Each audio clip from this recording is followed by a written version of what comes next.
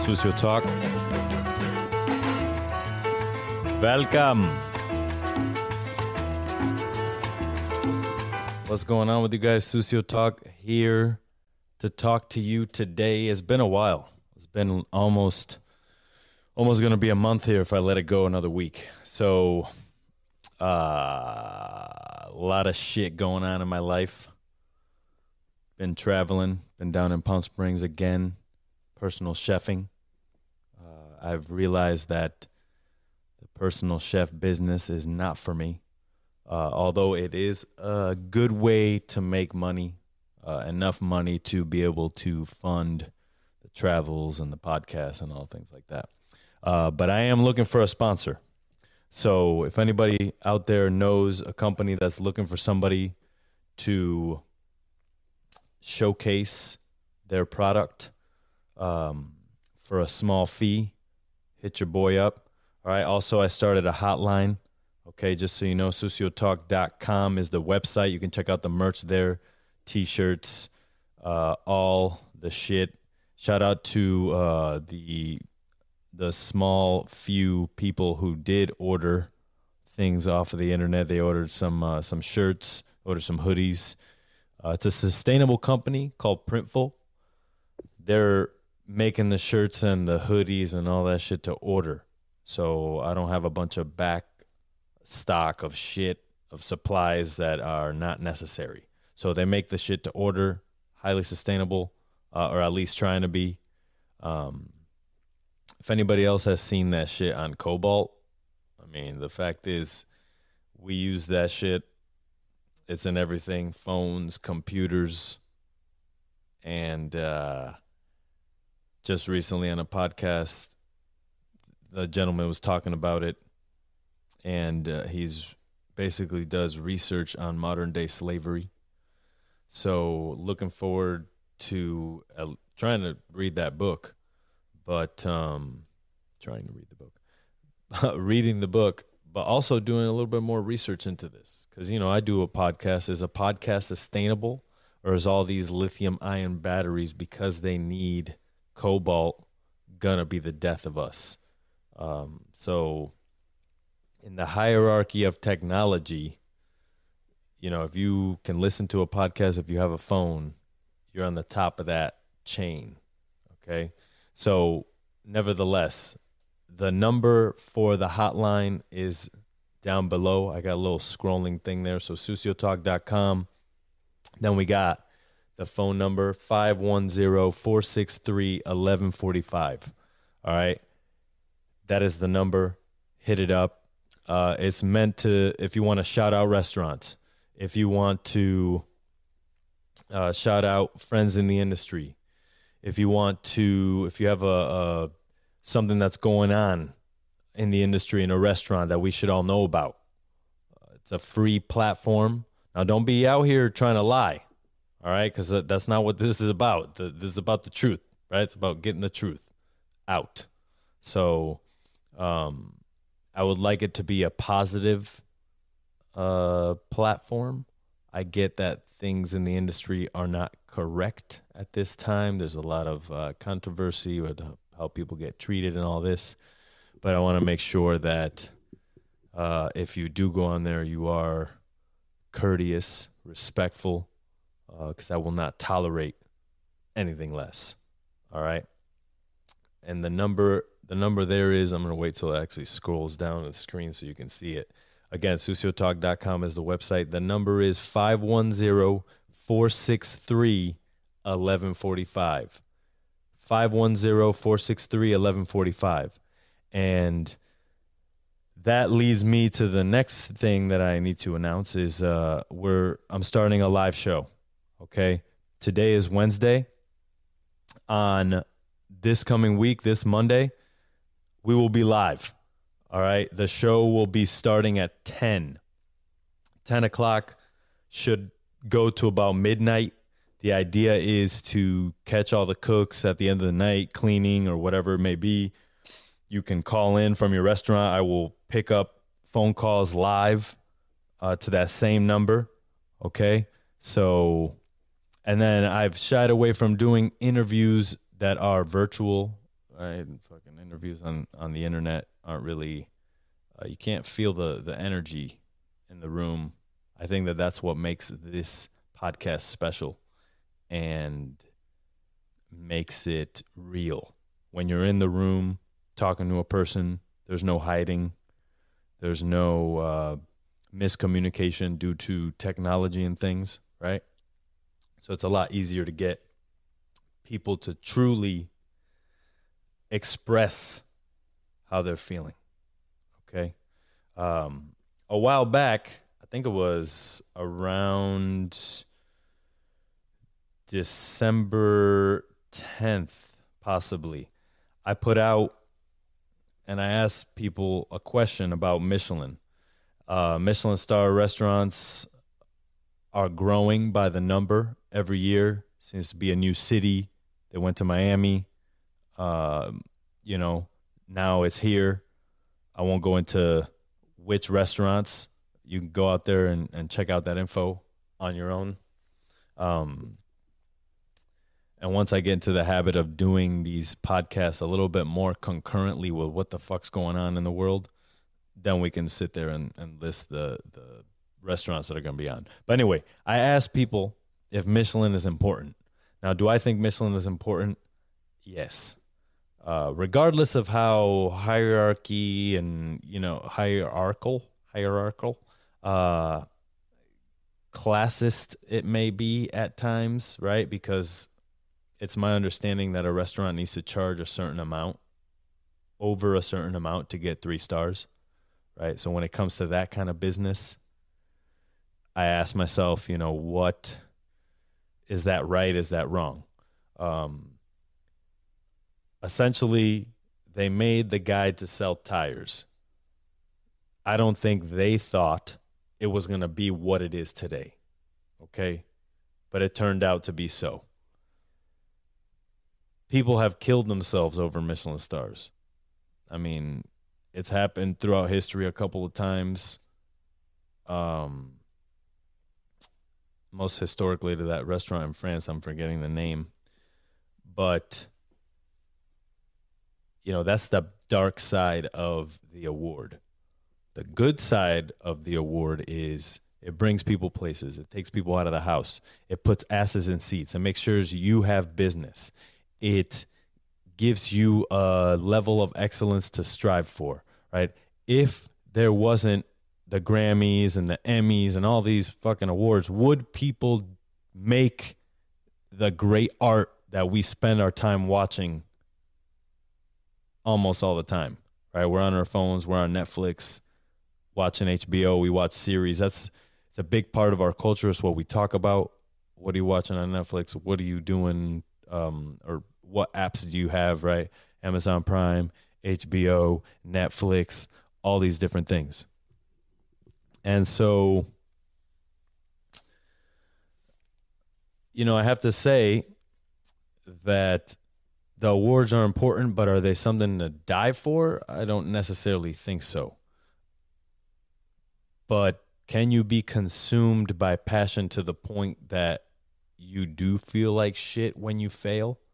100%. Uh, so we cannot cancel Michelin. We cannot get rid of it. I don't want to get rid of it. Uh, we just need to figure out a, a healthier relationship to have with such a thing, with awards and things like that. Because we can't just be off in ourselves if, we if we think we're going to lose stars. You know what I mean? So, ask the question. A lot of people answered. All right. Um, and I got I, I got a lot of good answers here. Okay, so honest opinion of Michelin stars. This was my tweet from Sucio Talk. You can follow Sucio Talk on uh, Twitter. Check me out. Awards are not the priority, but they are important. They push people to a new level of achievement. When it comes to Michelin, I will not let bad leadership and hospitality ruin this for the rest of us at the end of the day, Michelin puts asses in seats. Let's not forget that. They feed our families as chefs. They bring people to your door. People hear about you because of Michelin stars, because of these lists. Top 50 world best, uh, opinionated about dining, all those fools. they have the right to make a publication and state in their opinion what they think is better or is worse or whatever it is. And if you don't agree with it, well, just don't don't listen to it. Don't pay attention to it. Figure out your own uh, your own judgment. Go to these places on your own, okay, and figure it out for for yourself. All right. So I asked the question, and um, here we go. Honest opinion of Michelin stars. I think they have lo- these are anonymous now. I don't remember who answered me, but uh, I do. I am grateful that people wrote honest opinions and they they didn't come in guns blazing trying to tear down uh, the original opinion or point. Okay, here we go. Ah, yo creo. I think they have lost their importance over time. Uh, industry changes and public. I think I cut that one off there, but anyway. Uh, honest opinion Michelin stars. They're bad for the industry, limits creativity. Okay, okay. I think that's meaning that the three star level, it's seen as though, or it seems as though, and is seen as though, they are trying their best to uphold a standard from which they set when they got the three Michelin stars, which means it can it can seem like repetition, like just doing the same things over and over perfectly well. And there's nothing wrong with that. I chose Meadowood because they were always pushing the boundary on what was the cuisine. And that third Michelin star, three Michelin star restaurant that at that time when I moved over here in 2013 was the only other one other than the French Laundry. Single thread did not exist at this time, and no other restaurants had three stars. The restaurant on Meadowood got their third, got their three stars, I believe, in 2008. Um, and or 2010. I think that's when Chef Costello got them. And so I chose that because it it seemed like, and it was true that they were really pushing the envelope on what the cuisine could be and should be. Whereas, and I'm not not digging any shade over here, but the French Laundry, like they have the techniques that they have built over the years in which they employ on different uh, vegetables, and uh, products, basically, right? If they do a certain technique with something, they're going to try it with another protein and, and do it in that same similar way. But they are a French restaurant, right? So they are uh, not handcuffed, but they're held to that French standard of what is fine dining French food. Whereas Meadowood, not held by that, just held by Napa Valley, the place, the time. All right honest opinion of Michelin stars. I used to respect them. I feel like the standard for stars in DC is lower than New York City, Paris, or California. That's a hot take. I don't really believe that. They're they're to me for a company like Michelin to uphold a standard across the world is I think the consistency of that is what they go for. Um, and to say that you know you lost respect for them hey you can you can feel that way. I don't think that a three michelin star chef in new york city means more than a three michelin star chef in dc it just doesn't mean that doesn't mean that all right? Uh, part two canada australia have more original dishes because they don't have the guide. Again going back to that point where three michelin stars is just upholding shit and nobody's really pushing the cuisine forward. There's very few restaurants that have three Michelin stars that can do different things. All right. Um, however, Michelin does keep standards high and competition fierce in the kitchen. That you're damn right. When I worked at Meadowood, it was like I was working. I was playing for the Yankees. You're playing for the best team. Every position has the best player right? And everyone's trying to be a champion and trying to be better than the next person, all the while helping each other, you know? Uh, even though when I got there, it was a little bit more cutthroat than that. Um, it wasn't like people would like openly sabotage you and shit, but people were, were a little bit dickish, let's call it. All right. Um, that ended. All right. That was a weird pause. Honest opinion of Michelin stars. People wouldn't be talking about them all the all these years if they didn't care. You're damn right. Now I know some people that know some people that are artists, right? Uh, whether it be music or whatever it is. And when I said this point to them, what what they said was, "Look, people that haven't won awards are the ones that are always being like, fuck that award,' and it's generally true. So it's hard to sit there and point at something that you haven't had and said that's not worth it or not good enough. Now, if you win the Michelin stars or get the Michelin stars and you don't want them and you say, hey, uh, you know, I don't want this honor, by all means, go ahead. Uh, to this day, it was only Marco Pierre White who's done that, right? I think. And even then, like you can't really give them back. Like everybody knows you have you have the stars already, right? Um, but I think that was part of his appeal as well. You know, American stars, in my opinion, are not the same as in Europe. Again, differing opinions, but people weren't being outraged during this, and that's what I loved about it. People being really honest. And I think that that is where the, what do you call it? ¿Cómo se llama? El anonymity, anonymity, anonymity anonymous, anonymity, anonymity, anonymity. There you go.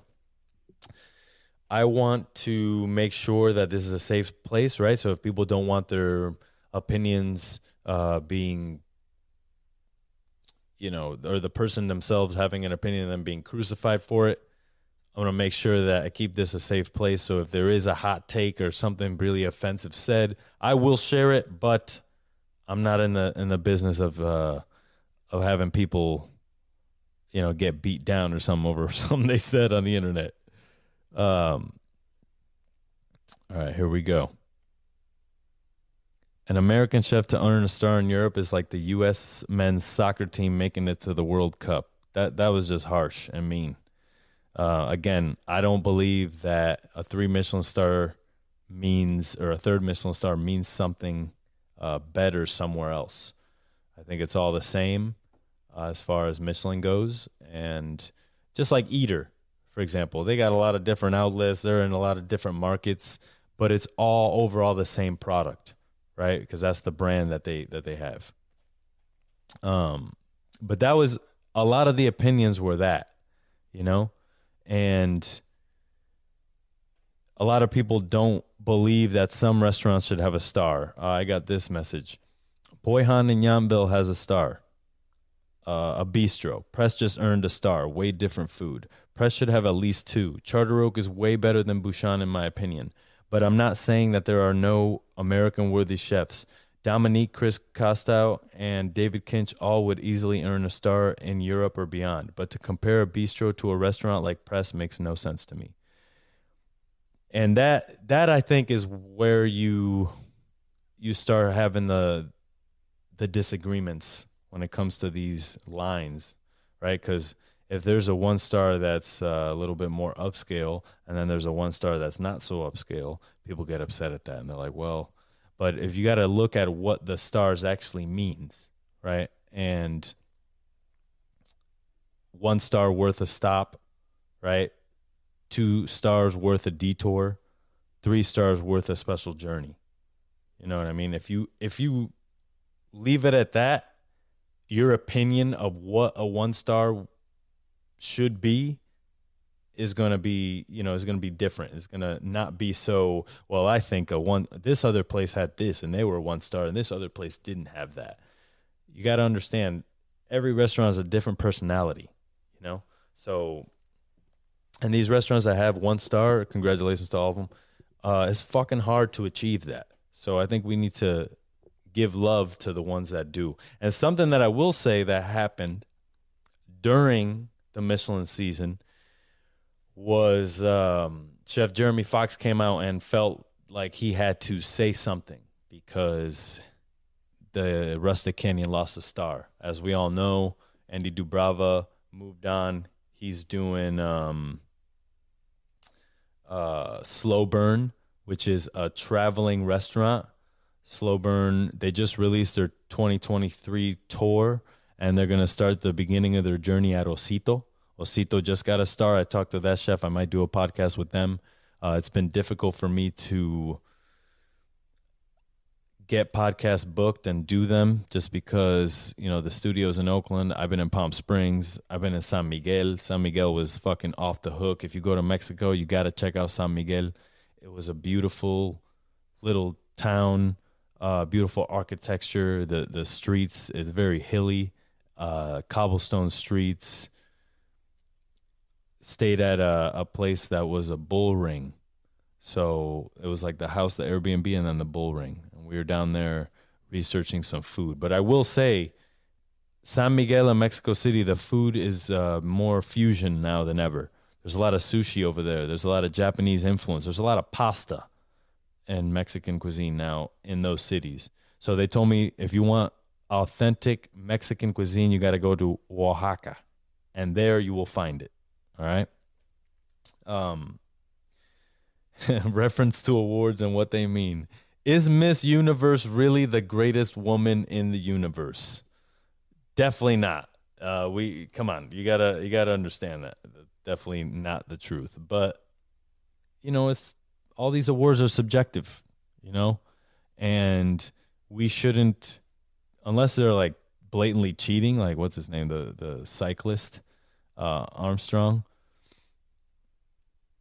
We shouldn't, you know, persecute these people. It's not th- it's not their fault they got a Michelin. Well, it is their fault they got a Michelin star, but it's not. It doesn't work like that. You know, it shouldn't be a negative thing. Oh, look at this place with their Michelin star. You know what I mean? So,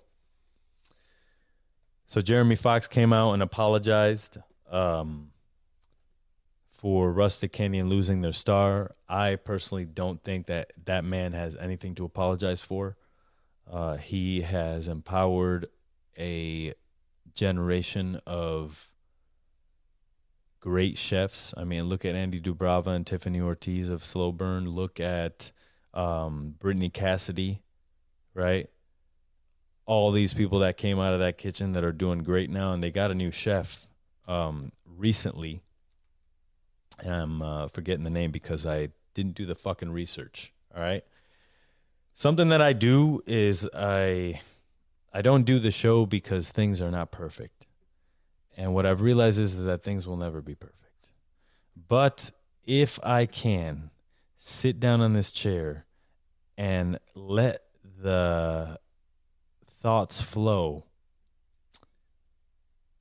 more frequently than not, right? Because I haven't been putting out that many episodes. I feel like we can get the conversation started in a real way. Um, I just posted on Instagram as we sat here about this phone number. So, um, what the fuck? I'm gonna have to erase this comment. Nathan Kryler, you son of a bitch, told you Jesus was Mexican. That's fucked up, bro. I'm Puerto Rican. You gotta learn, B. Can't be writing that shit. I love you, Nathan Kryler. You bought a shirt, but you can't be you can't be talking shit on my Instagram, B. Damn. um. So once again, I got that number up, and I'm wondering. Nobody has called it Nobody has left a message, but we will see what happens with that. Other than that, I will say Monday, live show starting at 10. We're going to be broadcasting on Facebook. We're going to be on Twitch. All right. And during that time, I'll take live calls. I think since the number ends at 1145, uh, what I'll do is at 1145 start taking calls. Um, unless it starts to populate a little more, but I can't I can't say that the first show is going to be that uh, pop in with viewers, right? Because I haven't been doing this live at all, for that matter. So I'd like to thank all the people who are still listening to the show. Thank uh, the people over at Shared Cultures. Apparently, they they uh, play this over the loudspeaker. Shout out to Sam Pound. She was uh, uh, Golden State Pickle Work. She was on the show, and she plays this at her place of work. So because she does that, I apologize to her employees on my behalf. I I might have an annoying voice, you know, but um, but yeah, all good things, you know. The idea is going forward that we do the live show, right? I need a video editor to make small shorts or reels from the show, okay? And then we can move on into the future, right? We can take over YouTube, we can do all that because I really want to uh, make a show. And I don't know if you've seen this show, but it's called Leave the Meter Running. Uh, New York Nico. They do it in New York. Guy gets in a cab, he leaves the meter running, and he takes the cab driver out to eat to their favorite restaurant, all the shit. So it's a really inspiring way to do it. I definitely, you know, want to make a show where I do the podcast. I go to eat at the restaurant where the chef that I did the podcast with, and then chill out with them the next day. Whether that's skydiving, doing drugs, driving cars really fast, racing. Um, I've also realized that I need to live more of a wilder life. Uh, the 2021 was a good year for that. Did the road trip. Um, I lived like a nomad, right? And now I'm starting to ease in and trying to get my life together. But I need that excitement again, right? So I need to find a hobby or something to get into. And if you're out there and you're just uh, cooking, definitely make sure that you make time uh, for another activity because it, it, it's going to make you better ultimately. So, to all you guys out there, uh, shit's hard right now. You know, there's a war going on outside. Fucking all types of shit. Brittney Griner's free. Shout out to her. And there's a lot of people outraged about that. It's like I don't get shit. It's not like she controlled what happened. You know what I mean? The United States had to do some shit. They did what they had to do. Uh, I think a lot of us look at and blame politicians where I strongly believe that these politicians don't know the first half of what actually is going the fuck on out here. All right. There's a lot more shit that we don't know that is, you know, high level clearance information that we will probably never get to, you know?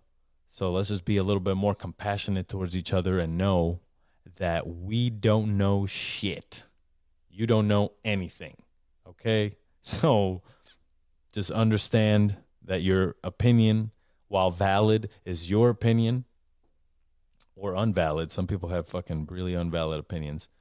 Uh, and there's no need to kill each other because of it or ourselves.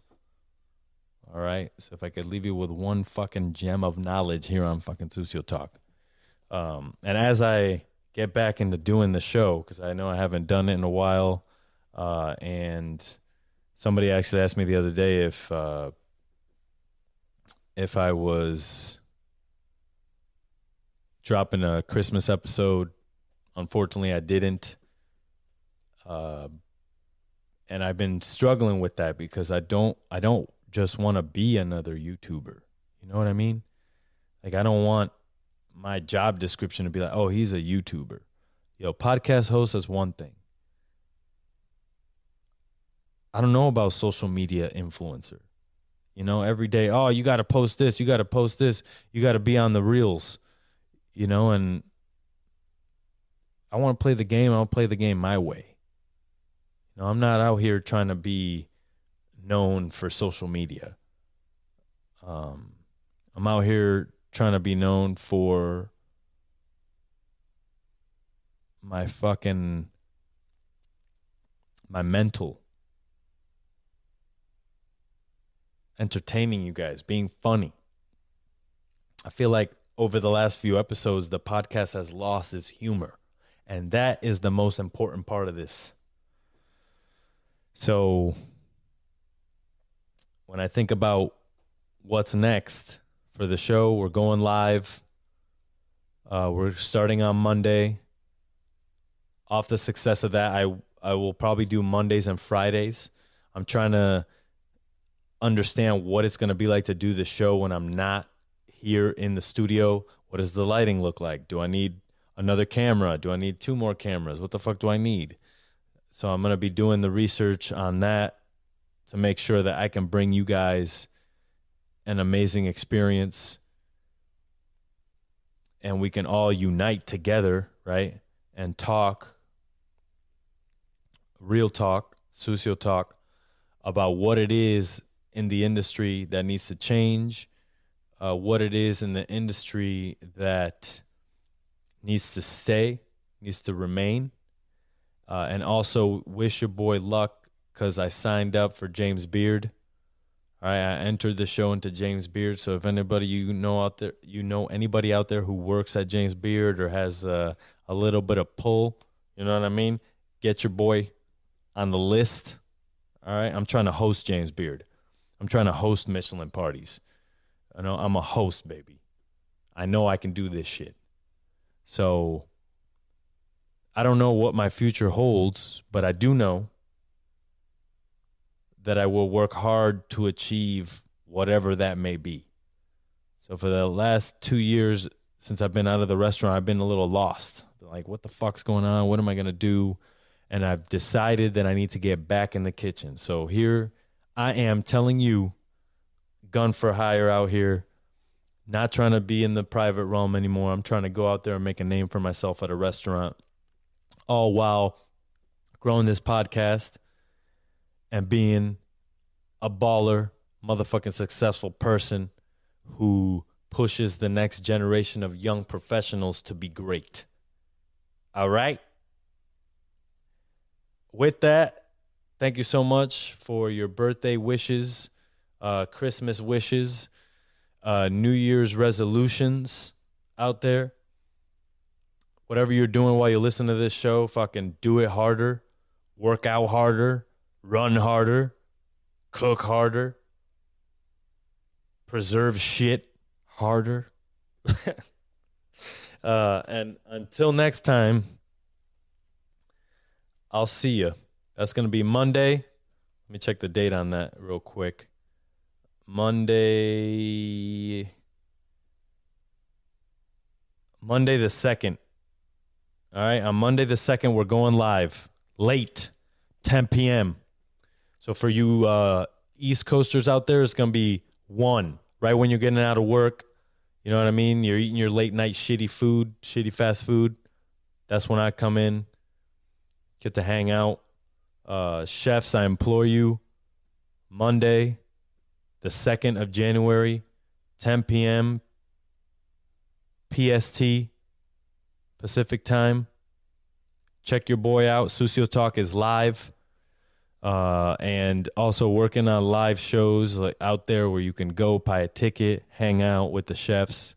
Let's see if I too can sell out Madison Square Garden. There was a podcast recently that just did that, and they they talk about finance, but I think that is possible. All right. So with that said, peace. Solo Sucio episode 103, suciotalk.com, and also the number to the hotline. You could leave funny cook stories, restaurant recommendations, whatever you want.